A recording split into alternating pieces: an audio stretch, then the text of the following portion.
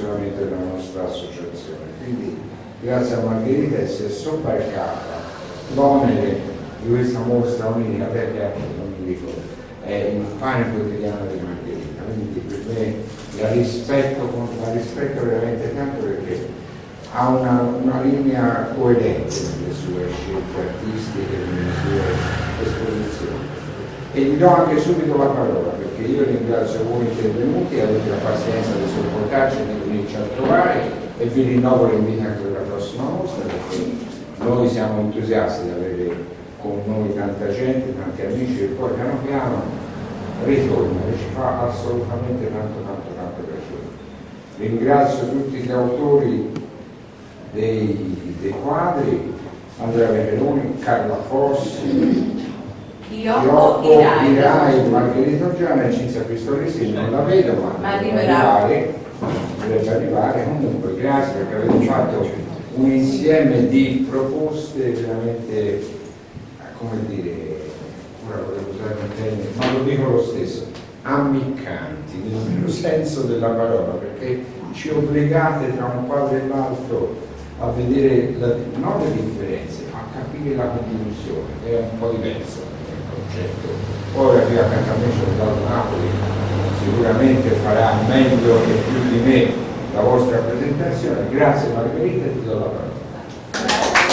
Abbiamo quattro pittori e una scrittrice. Eh, è stato eh, difficoltoso, però molto stimolante preparare questa mostra perché eh, abbiamo stili diversi, pensieri diversi e provenienze, provenienze diverse anche culturalmente, però siamo riusciti a creare un'armonia che è mh, molto positiva. Eh, quest'anno abbiamo un'amica nuova, è la Chia Operai, che è una splendida artista mm, di grande talento e spero che insieme a lei e insieme agli altri artisti di Galati riusciremo a fare qualcosa di buono. Grazie.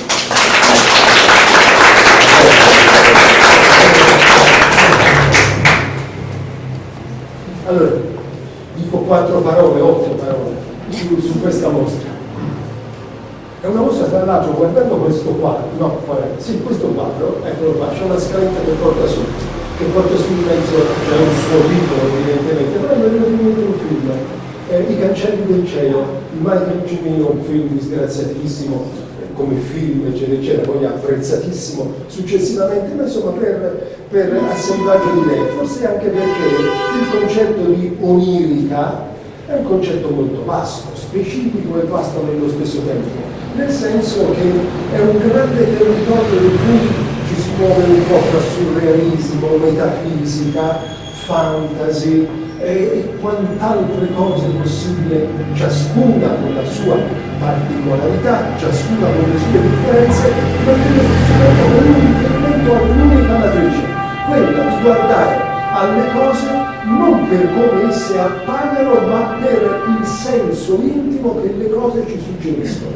In altre parole, eh, il mondo onirico tende ad aprire una porta su di un mondo totalmente diverso, su di una realtà diversa. Allora, la mostra si intitola Onirica, però ha un sottotitolo Dal sogno al segno. Ora sono due parole, due concetti opposti, perché il sogno è un qualche cosa di eh, razionale, irrazionale, comunque quando sogniamo noi non siamo padroni della nostra coscienza, eh, non dominiamo la situazione, il segno invece è razionale ed è frutto di qualche cosa che noi riusciamo a dominare.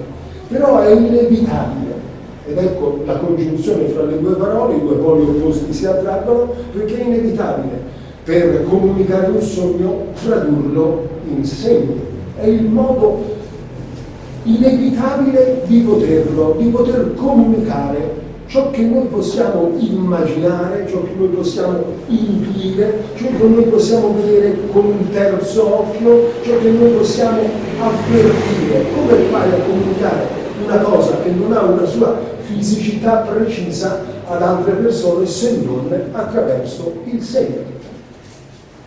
Cinque i partecipanti, Andrea Micheloni, abbiamo Carla Fossi, abbiamo eh, Yoko ecco, Sì, abbiamo Margherita Giorgiani, abbiamo Cinzia Pistolesi che fa il suo ingresso No, non l'ho fatto, no, ma non l'ho fatto apposta, eh, scusatemi, Tutto veramente- Fate desiderare. Quindi abbiamo tre pittori, un incisore e uno scultore, una scultrice. Allora, And- Andrea Peccheroni, Andrea Peccheroni, questo, questo, quello, questo, quello. Se voi guardate le opere di Andrea Peccheroni voi vedrete che sono molto giocate sul sorridente, sul sorriso, qualche volta anche sullo scherzoso, se non proprio sullo scherzo. Si vorrebbe anche parlare forse qualche volta di un garbato eh, scelta di inganno nei confronti degli altri. Sono acrilici, sono acrilici i quali presentano tutti, direi fuorché uno, se non erro che è un autoritratto un po' particolare, presentano una costante, la presenza di palloncini. Il palloncino, come anche nel foglio appunto, cui faccio riferimento, eh, è stato abbinato alla mostra, eh, rimanda, nello scritto del nostro autore, a forse anche ricordi, forse anche ricordi infantili, senz'altro ad una dimensione di una ingenuità, di un candore che è diverso eh, da quello dell'uomo o, dell'essere umano ormai cresciuto che purtroppo ha perso un po', come dire, da questo punto di vista la sua, la sua verginità. C'è un'opera, c'è un'opera che vorrei citare, ma non perché sia nella produzione del nostro autore più presente, la migliore oppure la più bella, semplicemente può essere da un certo punto di vista la più significativa ed è nell'altra stanza ed è la nave dei sogni. Perché? Perché in qualche maniera è un riassunto della mostra. I sogni, la nave, questi sogni tradotti in segni è giusto appunto il sottotitolo del nostro mondo, del nostro mondo biblico. Cito di Andrea Vecchioni nel- nella sua dichiarazione di intenti, questo volantino gacio che potete trovare, che lui intende sognare mondi che altri potranno in tal modo apprezzare. Carla Fossi. Sono tutte incisioni, fuorché un acrilico e fuorché un olio nell'altra sala. L'acrilico, tra l'altro, è una medusa femminile, sono donne medusa, nel mare, l'acqua, la fertilità. Il mondo dell'onirico è il mondo del sogno in senso lato, in senso stretto, è un mondo fatto di simboli.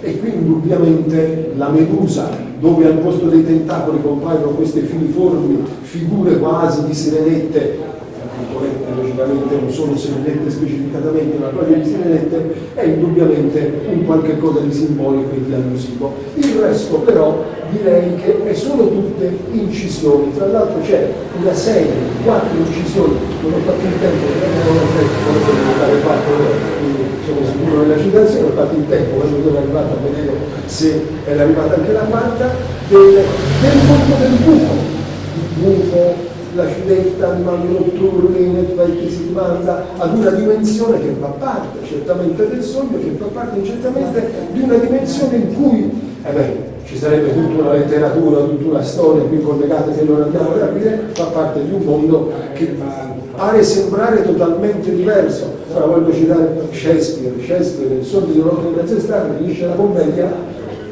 e tutti invitati vanno via e da sotto i tavoli, dagli angoli chiusi della sala dove si è svolto il banchetto escono fuori gli enti, gli ignoti, le fate, cioè le presenze che abitano il mondo notturno, evidentemente è una grande allegoria, evidentemente è una grande favola quella di Shakespeare, ma evidentemente questo fa, trova appunto riferimenti specifici nel mondo dell'Olimpo.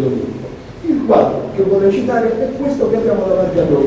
Ripeto, non cito questi quadri perché non li leggo nell'ambito della produzione, per esempio in questo caso di Carla Fossi, il migliore, magari può anche essere, o il più bello, ma lo cito perché mi sembra significativo nell'ambito della mostra. Si vorrebbe quasi, con le citazioni che andrò a fare per tutti e cinque gli autori, fare la mostra della mostra, almeno dal mio punto di vista, in questo momento. Il titolo è Natura Uprising, cioè una natura che, che sboccia ma è ambiguo il discorso, non approfondisco perché potrebbe essere natura che si ribella, perché il concetto è duplice che sboccia e che si ribella. Carla fatto nella sua dichiarazione una frase in cui dice che lei intende valicare i confini del tempo e dello spazio reale. Allora, la scultrice Yoko Irai. Se osserviamo queste sculture di non grandi dimensioni, sono tutte dedicate al mondo animale. Pegaso, Fenice, Tigre, Drago, con riferimenti indubbiamente al mondo orientale giapponese, l'origine direi è questa, in cui allora queste figure assumono dei significati che da soli necessiterebbero, ma questo è da ripetere per tutti gli altri quattro gli autori, eh, non lo possiamo fare qui, una serata specifica. Insomma, il drago è una figura, il drago blu è una figura positiva, è una figura benevola, benevola è la fenice, la tigre invece che abbiamo qui davanti, la tigre bianca, rimanda, rimanda all'universo femminile, in e yang, le due figure, i due elementi contrapposti fra di loro ma che si fondono in un'unica parte e quindi danno nel maschile e femminile fusi fra di loro l'unitarietà dell'essere umano. Quindi c'è questo elemento, ci sono questi elementi che dilatano queste piccole per dimensioni sculture a un grande mondo. Io volevo sottolineare una cosa, mi ha fatto piacere parlando con i RAI che me lo dicesse, perché molto spesso noi di fronte a sculture e di scultori di vivo anche di dimensioni diverse, eccetera, eccetera, ci troviamo di fronte a degli autori che fanno il bozzetto, ma proprio bozzetto bozzetto, e poi consegnano tutto al laboratorio. Il bozzetto viene sviluppato, poi viene realizzato, viene elaborato e viene consegnato. Invece la nostra autrice ha fatto il modello in cera, ha assistito alla fusione, ci vogliono dei materiali, uno spazio, dei mezzi tecnici che non si possono fare in casa, il Cellini qui vicino bruciò casa sua, per cui non è il caso che lei bruci casa sua, e poi però tutta la lavorazione superficiale l'ha realizzata lei con una professionalità, ma mi interessa un altro aspetto, andando a ulteriormente arricchire le sculture di significati emotivi, emozionali che lei lavorando può ricavare e che un terzo, una persona fuori da lei non potrebbe e non dovrebbe, dovendo seguire un input e una indicazione precisa. L'opera che vi direi, volevo segnalare, è la speranza in arma bianca è quest'opera, questa spada nella roccia nella lavastra. Ecco, la spada nella roccia, come il drago, eh, ha vinto, e ripeto, per il nostro mondo occidentale il drago è un elemento, San Giorgio uccide il drago, eh, San Michele che uccide il drago, eh, eh, l'ancillotto che uccide il drago, mentre invece nel mondo orientale è l'esatto contrario, potremmo dire, pur essendo poi un discorso più complesso. Cita la nostra autrice una frase di Paul Klee lei intende rendere ciò che è invisibile in modo percettibile. Ritorniamo al concetto, almeno del sottotitolo, che tutti gli autori hanno affrontato dal sogno al segno, inevitabile usare il segno per tradurre un sogno. Margherita Gianna, la colpevole, eh, dobbiamo dire che siamo arrivati alla terza edizione di, di, di onirica, per cui diventa, è divenuta una costante eh, come dire, presenza e ricorrenza nell'ambito del, del calendario di Gadar. Allora, Margherita punta sul dialogo. Se voi guardate tutti i quadri di Margherita Oggiana presentano un dialogo a volte anche un po' irreale, a volte anche un po' impossibile, ma comunque sia un, un dialogo. Infatti questi suoi quadri presentano sempre il volto di una figura umana che dialoga, a volte anche in modo muto, con qualcun altro, qualche altra presenza che a volte è di pietra, a volte invece viva, ma che comunque sia comporta un dialogo. Portare in primo piano la figura, la figura significa proprio applicare l'attenzione sull'essere umano e quindi in un certo qual modo dire che questa ricerca pittorica è una ricerca del proprio io, Ecco, prima accennavo sul realismo, metafisica, ma si vorrebbe mettere in questo grande mondo eh, eh, del, del, dell'onirico in senso lato, dicevo anche il fantasy, anche l'esoterismo, ma anche la psicoanalisi in un certo qual modo, perché indubbiamente sono elementi psicanalitici. Volevo segnalare della nostra autrice due opere, eh, due opere, perché una mi è rimasta particolarmente addomesticando, addomest, addomestico la mia ombra. E là un volto che addomestica una, là nella seconda stanza, che addomestica una tigre, una, pantera, una pantera. Gli occhi della pantera, com'era quel film tremendo, eccetera, eccetera, bellissimo, che eravamo sempre sul, sulla linea d'ombra fra il possibile e l'impossibile, fra il mondo di qua e il mondo di là. E poi una seconda cosa, il segreto dei sogni svelati, che è quest'opera, che è sempre il titolo di una fiaba, il segreto dei sogni svelati, sempre il titolo di una fiaba e che forse rappresenta proprio una fiaba molto personale della nostra autrice. Frase dell'autrice, beh, ha fatto una composizione poetica di cui ho tratto un rigo, due parole, lei parla di onirica non luogo non luogo, è un luogo cioè non meglio definito. Ultimo elemento, la nostra Cinzia Pistolesi. Sono arrivata a è andata l'ultima, quindi è come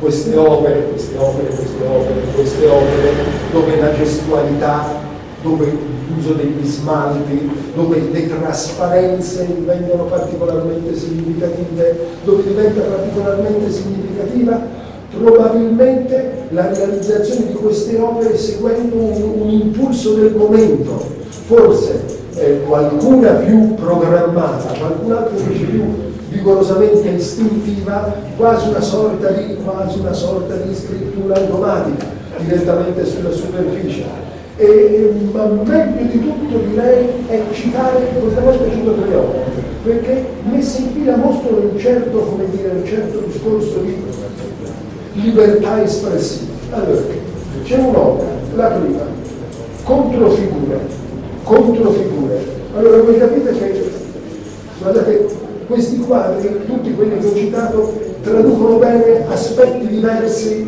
del mondo lirico, perché poi fra questi autori ci sono, giustamente notava Margherita Oggiana, ci sono delle formazioni culturali diverse, ci sono delle, delle, sensibilità diverse, che poi ritornano ad un unico mondo, appunto quello dell'onirico, ma partendo da luoghi diversi. Allora, controfigure, voi capite che la controfigura, chi è la controfigura? È uno che non è, che non è quello che vuole far credere di essere. Insomma, sembra che sia, ma in effetti è tutt'altra cosa.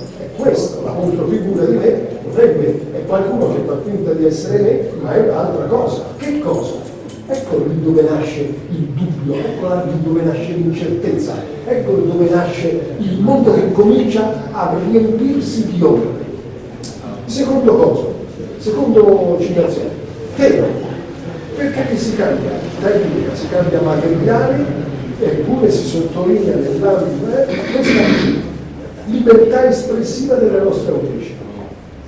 E ultimo direi di queste citazioni, Angelo della notte, che è quest'opera qui, subito appena si entra, che è un'opera direi inquietante, è un'opera in cui si, può, possono, si possono leggere le forme, cercando di tradurle in forme comprensibili delle più diverse, perché no?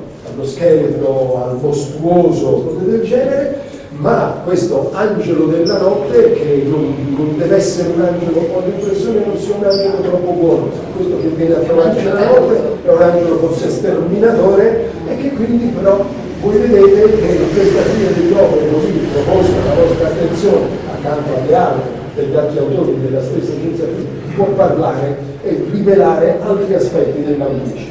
Audice la quale scritta anche lei una piccola composizione poetica per presentarsi e dice, e qui si sposa bene con l'angelo della notte, ancora bussi alla mia porta.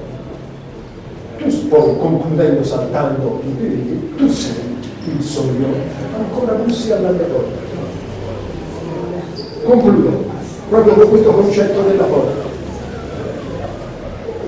Allora, c'è Joyce Joyce che nel, nell'Ulisse cita specificatamente all'inizio cancelli e porte e dice specificatamente cosa sono? Sono dei diaframmi che dividono gli spazi. Noi siamo di qui, altre cose sono al di là del cancello della porta, con una enorme differenza. Il cancello, se allungo la mano, la mano la fa passare. La porta, se allungo la mano, la blocca. Questi cinque autori di onirica sono cinque autori che ritraggono cancelli. Poi il cancello può essere ancora chiuso, socchiuso, aperto, ma sono cancelli, perché cercano di far vedere quello che c'è al di là, o quello che loro hanno visto o credono, perché credono di aver visto, hanno avuto la sensazione per un attimo di avere visto al di là del cancello. E siamo di fronte ad un concetto di controllato di angelo sterminatore confuso apocalitticamente, citando l'Apocalisse. Citando l'Apocalisse, la nostra traduzione dell'Apocalisse, quando si dice no, la situazione apocalittica, significa una, una, un voltamento del mondo. Apocalisse invece significa rivelamento, togliere il velo per mostrare e rendere chiaro. Questi signori invece fanno più il contrario dell'Apocalisse, perché non possiamo rendere chiaro quello che non è chiaro neanche a noi stessi, ma la condanna dell'artista è quello di provarci. Grazie a tutti.